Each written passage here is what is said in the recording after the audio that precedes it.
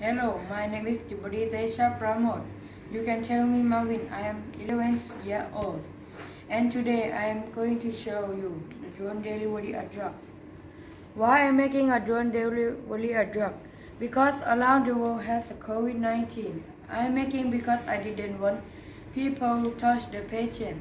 If I, if people delivery a drug around the world has a many patients from COVID-19. Let's see. This is my drone. I put the box on the drone, and this is the drum. I put it on the box. I connect the drone with the telephone.